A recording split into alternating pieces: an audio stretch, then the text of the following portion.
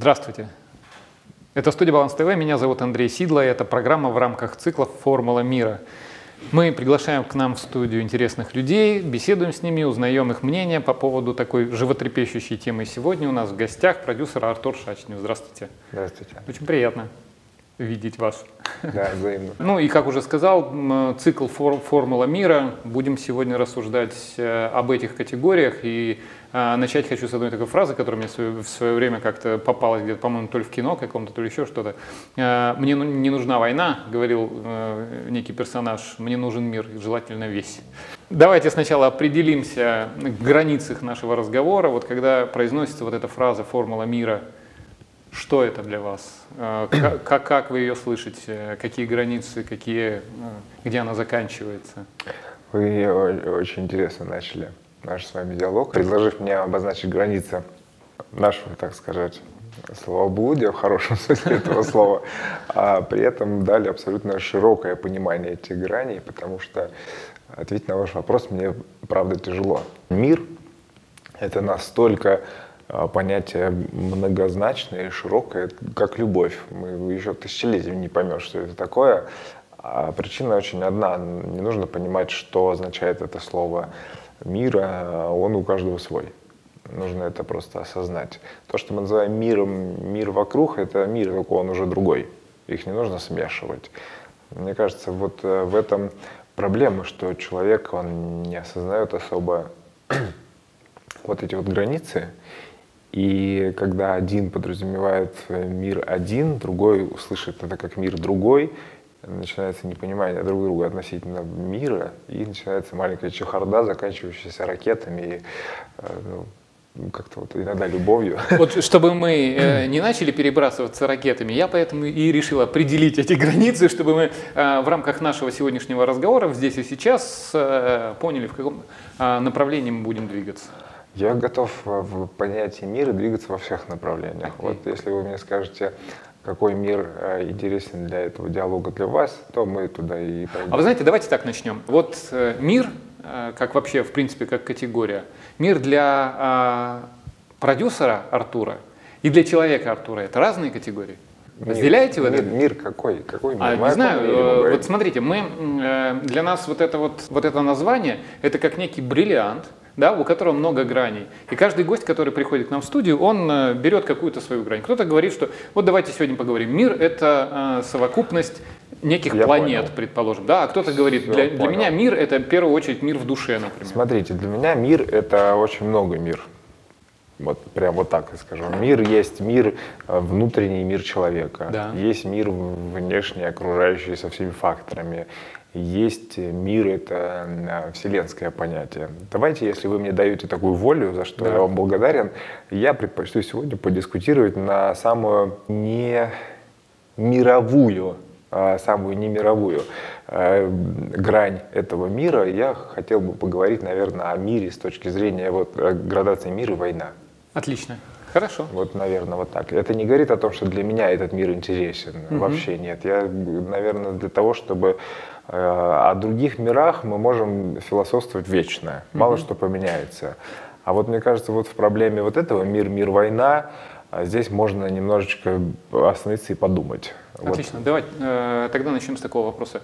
Э, надо ли бороться за мир? Да, вот, безусловно, да. Это к вопросу, а нужна ли война? Перефразируем этот вопрос так. Я скажу «да».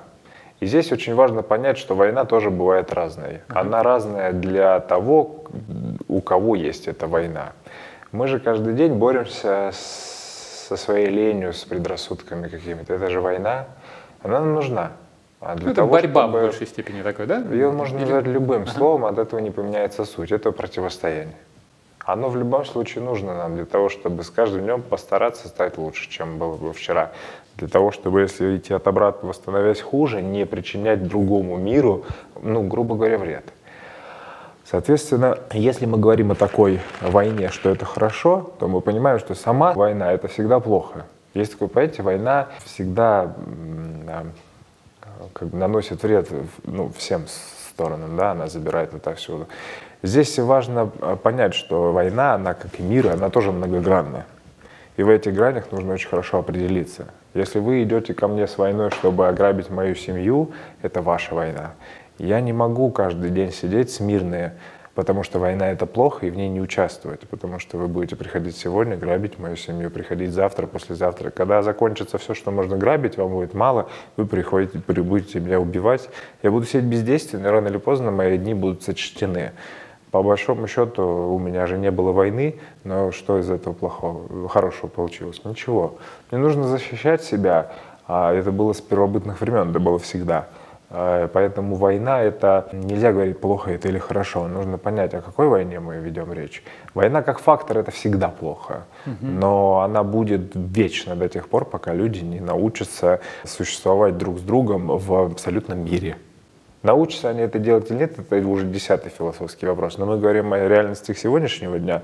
В сегодняшней своей жизни я сомневаюсь, что я застану тот период жизни, когда люди научатся жить в абсолютном мире друг с другом. Поэтому я э, готов говорить о войне, принимать ее, и я понимаю, что это сегодняшняя реальность ничем не отличается от той реальности, что сейчас наступила осень. Поэтому отвергать ее – это глупость. Отрицать ее – это глупость. И не принимать ее – это глупость. Бояться ее – это нормально. Угу. Это, конечно... А были мысли э, когда-нибудь, как можно было бы достичь вот этого состояния мира во всем мире? Я вам расскажу совершенно точно, что этого невозможно. Вообще? Да, я прям готов. Э, то есть моя точка зрения, она не обязательно правильная. Я настолько в этом убежден, я сейчас постараюсь сформулировать свою мысль. Я очень надеюсь, что мои э, слова не будут выглядеть путанно, но я убежден, что понятие мир во всем мире – это глупость. Абсолютная глупость. Прям тотальная. И те, кто об этом говорит, пытается говорить, они либо пытаются просто поговорить, потому что как бы это интересно. Ну, давайте поговорим про мир во всем мире. Класс. Красиво же. Ну, а потрясающе провести время, просто бездарно поболтать ни о чем. Я согласен. Но, по сути, это действительно это невозможно. Это нужно признать. Но для того, чтобы это признать, э, недостаточно так сформулировать. Это глупость, нужно как-то это обосновывать. Мое обоснование в этом вопросе, оно очень простое. Если мы говорим о войне и мир во всем мире, нужно понять причины. Причины этой войны. А как, мы можем говорить о глобальной войне, ну, когда, например, нам по телевизору рассказывают, что Соединенные Штаты Америки э, хотят с нами воевать. Кто-то смотрит, смеется над этим, кто-то боится, начинает пугаться и говорить, ах, они там негодяи. Кто-то э, достает радостный пулемет Максим из-под полы и говорит, наконец-то твой час настал. Это вопрос менталитета. Мы приезжаем туда в гости, и там бедные люди сидят, смотрят свой телевизор и достают пулемет э, там М-серии и говорит, твой час настал. Кто-то ржет и говорит, вы все просто с ума посходили с попорным. А кто-то плачет и возит детей в штат Кентукки подальше от ближайших территорий. Согласитесь, очень похожая ситуация. А причина-то одна. Телевизор повещал, а люди среагировали каждый в меру своего восприятия.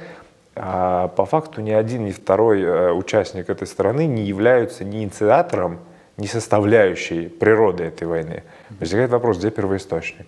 Первоисточник тот, кто, например, в телевизор для начала принес эту дискету и сказал, на, покажи. Uh-huh. Это политика. Uh-huh. Поговорим о политике очень быстро, в два предложения. А, политические стороны, устраивающие войну друг с другом, у них есть только одни причины. За счет этих агрессивных действий либо решить часть своих проблем, либо, например, а, получить то, что они видят возможным получить благодаря. Одна и вторая миссия, она изначально в своих инициаторских а, ну, адовая просто-напросто. Угу. То есть, если ты хочешь за счет чужих слез, горя и крови решить свои проблемы, то по тебе плачет просто демон где-то там далеко. Если ты хочешь у кого-то что-то отжать средством войны, то ты тоже как бы не очень хороший человек. А что дальше разбираться, какой смысл, кто прав, кто виноват, если изначально? А других причин я не, еще не застал. Я люблю анализировать первопричины многих войн. Но мы сейчас давайте немножко э, наш ракурс поменяем, потому что когда мы наблюдаем некие глобальные события, это один подход. Да? Вот есть вы, да? есть человек, который там слышит о том, что, вернее, включает телевизор, да, и что-то там смотрит, и, и каким-то образом там на, на это реагирует. И надо ли, во-первых, реагировать на то, что говорят там по телевизору, предположим, или там какой-то сосед или еще что-то? И как правильно это делать? Мы живем в тяжелое время. Это, все интервью у нас начинаются с этого вопроса. в этом тяжелом времени э, человек, он он должен понимать, что происходит, для того, чтобы стараться себя в какой-то мере от чего-то обезопасить. Ну, информацией нужно владеть. Мы живем в век информации. Если мы говорим о том, что нужно ли на это реагировать или не нужно, нужно. И здесь мы опять уходим в частности, о которых вы говорите, что вы со мной не согласны, а я готов с этим спорить. А в итоге все замыкается на человека, на конкретного. Я прям в этом убежден, потому что ну, я имею представление, как выстроена политическая система в нашей стране. Даже если очень сильно кто-то очень высоко захочет что-то, то пока кто-то еще чуть-чуть повыше не скажет, окей, этого не произойдет. Это как бы определенная реальность. Другой момент, что тот, кто очень-очень высоко, не может э, транслировать миллионы окей ежедневно, а запросы есть. Вот нужно это ну, немножечко понимать. А ошибочна ли эта система, по-что это так или нет, наверное, судить не нам. Мне это кажется, же последствия. Это, ну да. Это, вот же, здесь, после, это вот же здесь, последствия, это же не первопричина. Вот здесь сто процентов с вами, я согласен. Но помните, я сказал, что нужно немножечко... А, почему глупо говорить о мире во всем мире? Я же вот как раз обозначил, что есть разный менталитет. Один человек воспринимает негативно, другой с радостью, другой в третий, четвертый говорит, давай у него отберем там нефть, для этого придумаем здесь войну. К чему я все говорю? Не нужно рассуждать глобально. Это да. просто споры ни о чем. Согласен. Нужно просто прийти вот сейчас здесь э, и, опустившись на землю, посмотреть правде в глаза. Люди гигантски различные в своем внутреннем восприятии. И все это очень сильно нам напоминает джунгли. И не нужно искать э, э, истину э, там, где ее нет. Нужно признать, нравится это кому-то или нет, мы живем в джунглях.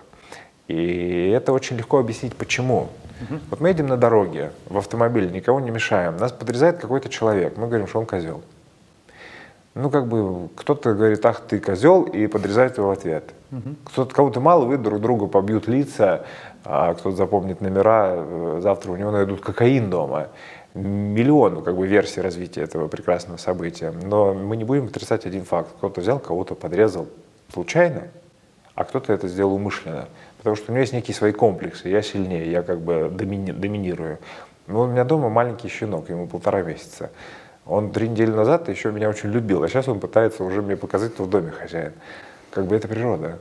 А, мы можем говорить про мир и войну, но не нужно как бы э, давать природе понять, где ее место. Это немного ошибочная версия. Можем изменить природу, но для начала давайте ее изучим. Невозможно прийти и говорить, я перепаяю плату в компьютере, не зная, чем отличается конденсатор от транзистора. Изучи, иди паяй. Мы не можем изменить природу, не зная ее суть. Мы до сих пор не разобрались, Бог там есть или как бы нет, но уже готовы что-то менять, при том то, что мы готовы менять, сами относим это к возможной версии сотворения Богом. Давайте разберемся в источниках, прежде чем приходить здесь наводить свои порядки. Мы живем в джунглях, это нужно признать, где были свои львы, свои черепахи, свои пантеры. И тот, который придет посреди джунглей и скажет, я пришел сюда сотворить мир, это будет осел, которому подойдет пантера, откусит пол лица и скажет, у тебя был очень вкусный мир, а вторую половину отнесет еще своим детям, и вы с этим ничего не сделаете. Мы с этим живем каждый день. И нужно это признать, и к этому нужно быть готовым. А э, что происходит сейчас? Сейчас происходит джунгли. К нам приехали очень многие гости с Кавказа, чеченцы, дагестанцы и прочее. Вот люди их либо принимают, либо им безразлично, либо кто-то говорит, вот они здесь плохо себя ведут негативно. Как бы, ну, э, я сейчас не говорю, что они из джунглей приехали. Я говорю о том, что у них есть свой менталитет, а у нас свой. И не надо вешать всем ярлыки. Этот плохой, этот хороший. В Кавказе живут потрясающие люди, очень много их там хороших. А есть отвратительные. Ну так и у нас они есть. Ну, это везде одинаково. Каким образом себя осознать как человека? Вот. Как раз очень важно понять, что мир не надо искать во внешнем периметре. Потому что мир, он как бы у каждого свой. Да. Вот то, с чего я начинал наш сегодняшний разговор, с того, что мы запутались, о каком мире мы говорим. У каждого человека есть свой мир, вот он мой. Мое восприятие внешнего мира – это тоже часть моего мира.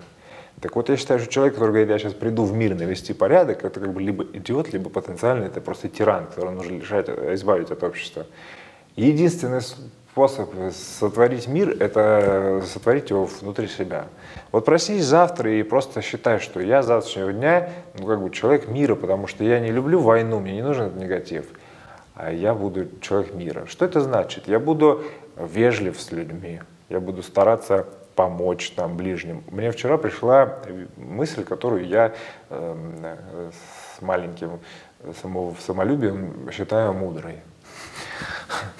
Знаете, как она, как я ее сформулировал? Я посмотрел а, передачу, а, ну, одно из знаменитых реалити-шоу, там мальчик из детдома прочитал э, такую речь о детдоме, и весь зал плакал. Очень трогательные, на самом деле, такие были пять минут, и во мне тоже нашли э, как бы слезы. Но я понял одну маленькую вещь. Чтобы спасти свой мир, сделать это очень тяжело. Мы же погружены в кучу проблем, сложностей. Прям тяжело, это нужна сила, еще что-то. То есть свой мир, правда, тяжело спасти. Но очень легко это сделать чужой мир. Когда ты видишь ну, у человека, который в чем-то нуждается, как правило, мы видим не тысячи его сложностей, мы видим самые острые. И бывает так, что люди способны нам помочь. Вот спасти чужой мир э, гораздо проще, чем собственный. И если каждый человек осознает это, и при случае он, не ища взамен, э, причинит это добро или спасет, или еще что-то, парадокс в том, что однажды как бы спасется его мир, но другими руками. Если мы так начнем жить. Есть такая, есть такая э, теория о том, что все, что мы видим вокруг нас, это отражение наших неких внутренних составляющих. И вот это очень вписывается в ту картину, которую вы сейчас нарисовали. То есть если я вижу у кого-то там какие-то проблемы, это значит, что это отражение моих проблем в том числе. И когда я помогаю бескорыстно, помогаю этому человеку решить эти проблемы, на самом деле я в конце концов так или иначе помогаю себе. Да, но в моем случае было это все дело более конкретное, без вот э, без нейрокосмоса, а прям прям вот впрямую. Вот представьте ага. себе, что наш мир сузился до всех, кто находится в этой студии. Так. И мы все просто решим жить вот таким образом. Вот я вот, ну, например, захочу помочь вам, э, вы там вашим коллегам, в итоге это все придет ко мне, а я с этим не мог справиться, потому что мне тяжелее решать свои проблемы. Это, это работает. И вот этот мир, о котором я говорю, он, он, очень, он по факту очень прост. Почему я говорю про джунгли и делаю на этом акцент? Невозможно сесть посреди джунглей, если я ослик, вот так вот, и сказать, я а, спасу там попугая, там, он спасет э, э, кита, кит спасет меня в лесу. Потому что, опять же, придет леопард и всем нам просто даст по ушам. Нужно принять правду, не нужно ее избегать. Не нужно философствовать, рассказывать красивые слова, которые вот они живут ровно столько, сколько они произнесены. Нужно признать некоторые вещи. Мы живем в опасности. Это правда. И перевоспитать всех мы не сможем. Завтра какой-нибудь бородатый парень, которому там предала его его женщина или там кто-то ему зарплату не заплатил, пойдет и обидит другого, который ни в чем не повинный ехал куда-то. Это правда. К ней нужно быть готовым. И в Бхавадгите есть такая фраза, я очень люблю цитировать. «Относясь равно к счастью и горю, э, к потере и приобретению, победе и поражению, э, готовься к сражению, так ты избегнешь греха». Это очень крутые слова. И в них абсолютная правда. Мне ничто не мешает нести с собой, олицетворять собой мир, но я должен быть всегда готов к этому сражению. И тогда я верю, что немножечко что-то поменяется. Потому что если человек создаст мир внутри себя, то он поймет, кто он на самом деле. Во всех, э, и опять же, почему я привожу пример природу? Здесь не нужно блуждать. В, в, в древние времена, когда сходились различные в войне э, стороны, они договаривались, как они будут одеты.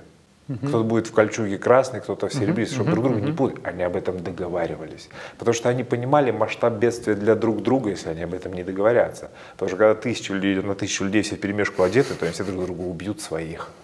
Это всегда было так. В лесу дикий зверь знает, как выглядит не дикий зверь, и не дикий зверь знает, как выглядит дикий. Мы живем в мире э, лжи, лицемерия, обмана, где мы не знаем, как кто выглядит. Мы идем навстречу и не понимаем, человек воткнет нам в спину сейчас нож или нет. А не думать об этом, почему он нам должен воткнуть, да потому что он может это сделать. Мы не понимаем природу человека, мы разные. Это нужно осознать. Понятно. Зигмунд Фрейд в свое время сказал такую фразу «Сделать человека счастливым не входило в планы сотворения этого мира». Э, согласны ли вы с таким высказыванием?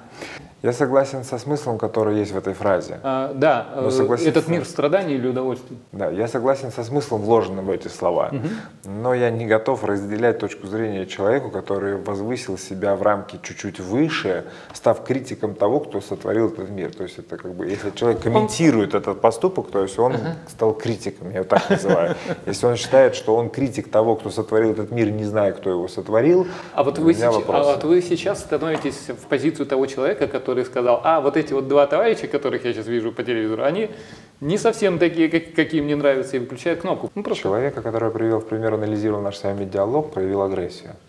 Я сказал, что я не могу согласиться. Я высказал свою точку зрения. Я, я сохранил свой мир относительно этого персонажа Зигмунда Фрейда. А человек, который привел пример я, он этот мир не сберег. Это то, о чем я и говорю. Человек, который анализировал, я привел в пример, ага. назвал меня неким словом, он проявил агрессию. Это, это вот ну, некие природные составляющие. Uh-huh. Я сказал, что я согласен со смыслом, но не могу разделять точку зрения. Я высказал свое мнение, не проявляя агрессии. Я не оскорбил господина Фрейда а по той простой причине, что я сохранил мир в себе да. относительно э, себя и его. А человек, анализирующий наш с вами диалог, этого не сделал. Вот в чем разница. Да, вот и сейчас мы подходим к, к моему самому первому вопросу. Где вот эта граница, мир, не мир? Мы ее сами назначаем. В этом и речь. Вот мир, вот он, у вас свой, у меня свой. Вы уже обозначили, да, там, э, не оскорблять. То есть вот, вот это уже характеристика некоего мира, да? А помочь другому, это тоже характеристика э, некоего Это мира. все очень такие голые слова, которых миллион. Вы же это поступками подтверждаете? Я подтверждаю природой природы взаимодействия. Мир, мир, вот у меня свой, у вас свой, у других людей, у каждого он свой. Мы живем э, не в, не в вакууме одиночества. Мы да. взаимодействуем друг с другом ежедневно. Люди, они общаются, употребляют какую-то пищу. Взаимодействие, если имеет наша природа, то отрицать взаимодействие наших миров – это тоже глупость. То есть, иными словами, наше восприятие мира взаимодействует с вашим. Мы каждый день друг друга задеваем – Вопрос задевания этого, он может иметь либо положительный характер, либо отрицательный. Я за положительный, вот о чем речь. Неважно, что это будет, не оскорбить, не ударить, не послать человека в лес. Там. Вопрос именно в том, какова будет природа моего взаимодействия с ним. Я могу элементарно даже, вот я сегодня опоздал к вам в гости, я мог проигнорировать это, и как бы я же опоздал, ну окей. Я даже мог сказать, извините это очень негативно я бы вас задел. Я готов тут просто-напросто каждого еще погладить и обнять, сказать, ну правда, простите меня, потому что мне действительно это ну, неудобно. Это взаимодействие. Мое олицетворяет мир. Я уверен, что если... А, а природа войны, вот это очень тонкая вещь, которая тоже с ней половина людей на планете не согласятся, она из-за комплексов, неуверенности в себе. То есть мне никто не мешает быть каратистом очень классным и хорошо дать кому-то с ноги по ушам. Но я не нуждаюсь в демонстрации этих вещей, потому что у меня нету комплексов, я в себе уверен. И я сижу сейчас напротив вас и рассказываю вам о том, как нужно взаимодействовать, ну, как бы по-доброму. Человек, который на улице, опять же, кого-то подрезал в машине, ему ничто не мешает сказать ему, дружище, прости, я сделал нечаянно. И в ответ он увидит, брат, все отлично, ты мне даже фару не разбил потрясающее же происшествие. И они оба останутся с каким-то на полдня еще заряженными такой вот добротой, потому что, прислоняясь друг к другу, мы в любом случае обмениваемся определенными энергиями. И сейчас мы уходим в другой мир э, моего любимого словоблудия про мировоззрение, состояние мира и души, но тем не менее. Вопрос, если взаимодействие этих миров наделено положительной энергией, то все хорошо, отрицательной, то все плохо. И это очень круто проецировать на большую политику, о которой мы не любим говорить. Там же все то же самое. Помните, я сказал, есть две причины. Вы замените их основу, и война очень быстро закончится везде. Ну, просто везде она закончится. Кто-то никого-то не захочет что-то отжать, а кто-то не хочет решить свои проблемы, а их признает. Представляете себе э, главу государства любого, у которого все плохо, который обратится к планете Земля со словами «Я э, глава плохого государства, но все плохо. Проблема не в моем государстве, проблема во мне. Потому что я оцениваю себя как плохого руководителя, но я смотрю правде в глаза. У нас нету более достойной кандидатуры, которая способна помочь мне, научить меня, либо заменить меня. Я обращаюсь ко всему миру. Помогите нам вырасти над самим собой. этот человек войдет в историю мировых цивилизаций. Но такого не будет. Знаете почему? Потому что комплексы. Это же как это надо иметь столько смелости, чтобы на весь мир прийти и сказать, я не способен. Это нужно быть очень сильным человеком. Но здесь замкнутый круг. Чтобы воспитать в себе эту силу, ей нужно заниматься.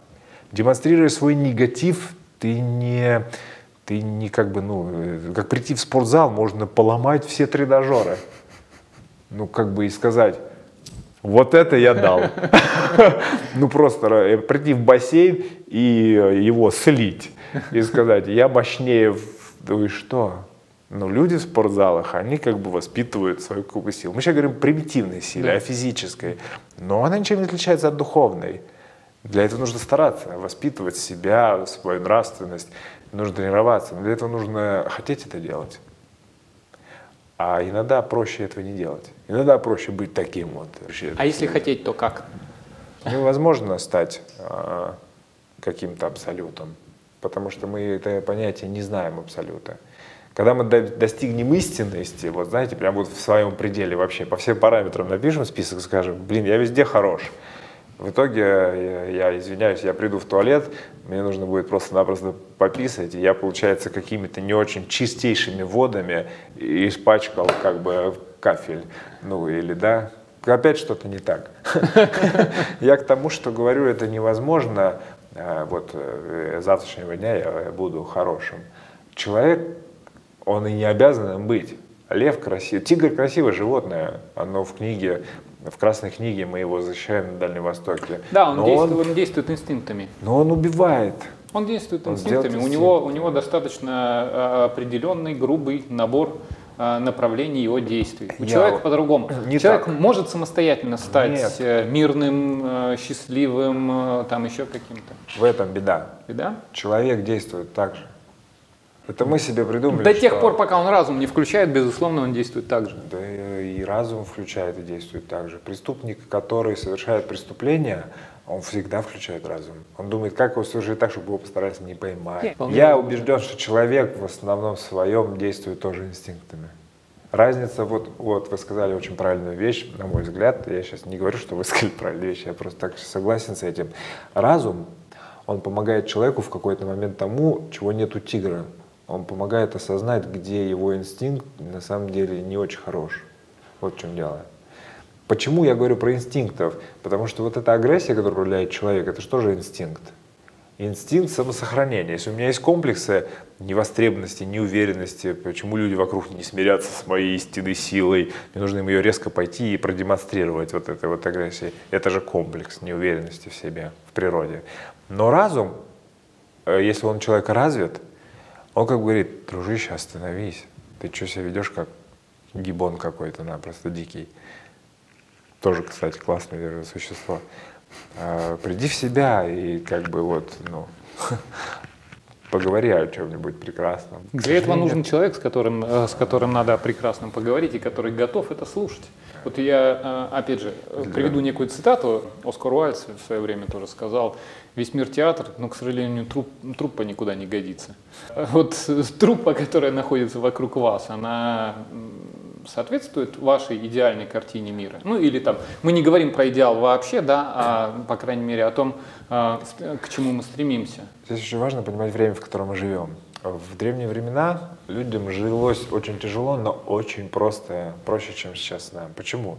Там было все понятно. Я либо э, землеводчеством занимаюсь, либо я верховный правитель, либо моя задача там быть там, не знаю, артистом. Например. В Японии вообще долгое время было четыре сословия. Это были военачальники либо военные люди, это были земледельцы, это были политики и артисты. Других профессий не существовало в Японии. Так она жила больше 600 лет. И прекрасно существовала в этой стране. Других профессий не существовало. Так вот, э, люди четко понимали, что они делают по жизни, и у них была уверенность в завтрашнем дне в своем внутреннем мире. Сейчас мы живем в эпоху, когда мы отравлены в перенасыщение всего. Пришла мода на социальные сети, и поколение просто ломанулось туда, а, чтобы найти себя там завтра. Все, мы будем зарабатывать деньги соцсетями сейчас. А люди на заводе сидят и говорят, куда вы все побежали? У нас масло там а, в контейнерах вытекает, ты куда ломанулся, кто будет сторожить мы начинаем вот эти вот резкие бросания приводят к тому, что человек, который сидит на заводе, хватается за голову не понимает, что ему с этим делать. Он не может бросить завод и сказать, нахрен мне завод, у меня есть Инстаграм. Потому что как бы ему просто-напросто по башке дадут те, кто посадили его на завод. И ему сказать, ты сначала свой завод преврати в Инстаграм, а потом как бы, к чему я говорю? К тому, что вот это вот время, в котором мы живем, оно мешает нам некой уверенности. Каждый день мы должны думать о том, как обеспечить себя едой.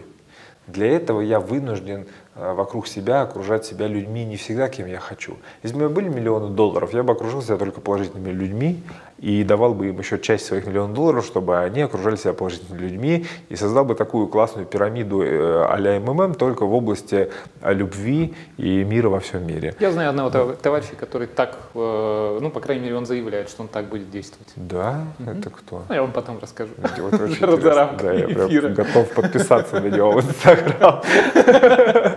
Вот.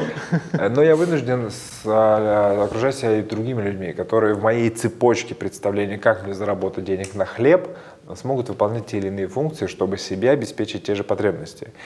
И я не имею всегда возможности окружить себя хорошими людьми. Меня окружают хорошие люди, э, плохие люди, умные люди, тупые люди, потому что на вакансию тупого человека не пойдет умный. Но не я такой вседержитель сижу, им сейчас раздаю названия. На их месте каждый воспринимает меня так же.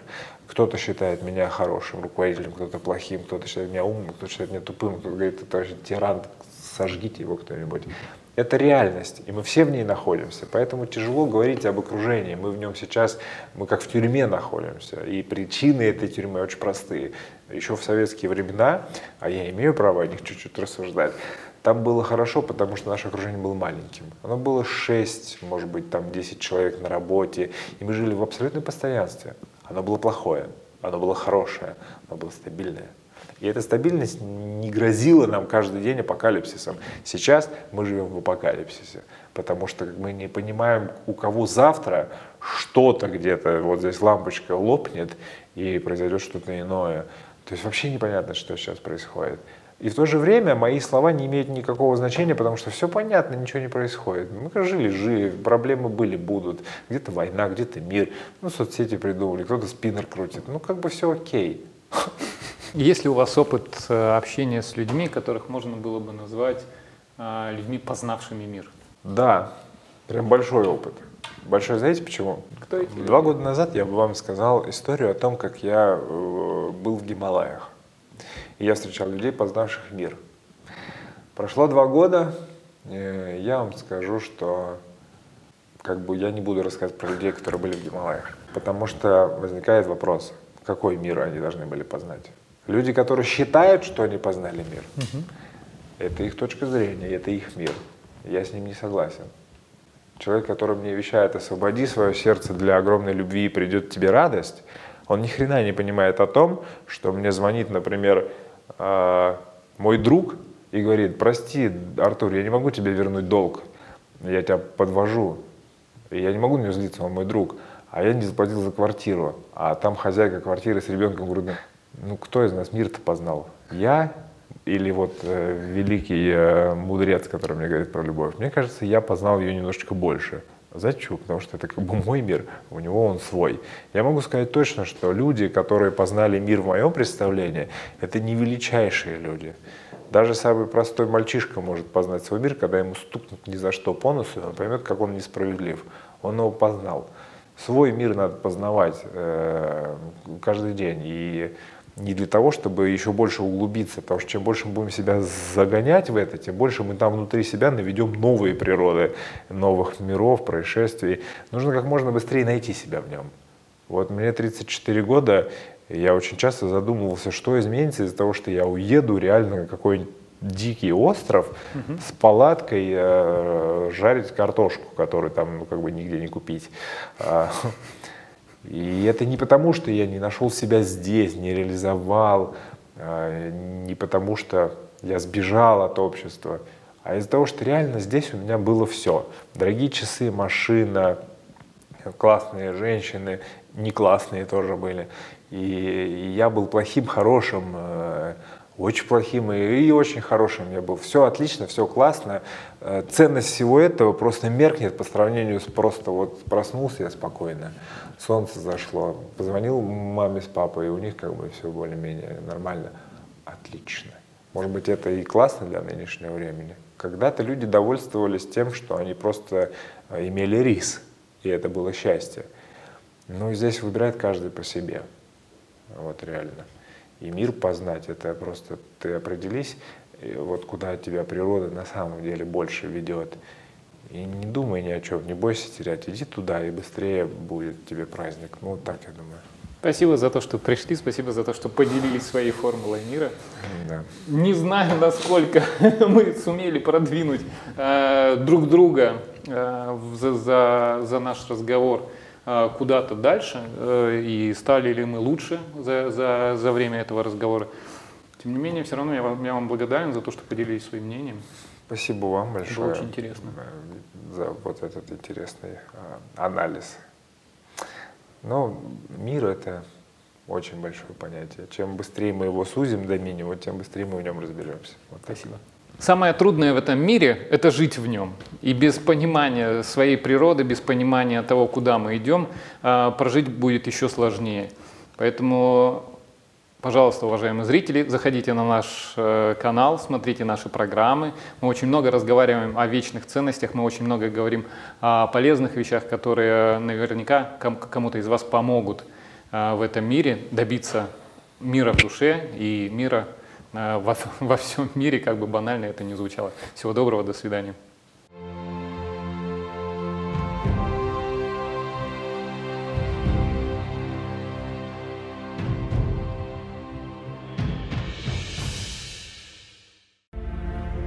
Телекомпания «Баланс ТВ» и мультипортал «Рузов.ру» представляют Уникальный интернет-проект «Тысячелетие» Приключенческий роман на документальной основе «В поисках бессмертия». Два друга отправляются в Гималаи на поиски нектара бессмертия. Их ждут удивительные приключения, невообразимые открытия и ужасные трагедии. Святые и мудрецы, йоги и ведьмы – Мистики и даже черные маги встретятся им на этом пути. Мы пройдем этот путь вместе, и еще неизвестно, чем он закончится. Гималаи еще никогда не были так близки. Поэтому, не теряя времени, отправляйтесь в путешествие на сайте в поисках бессмертия.ру.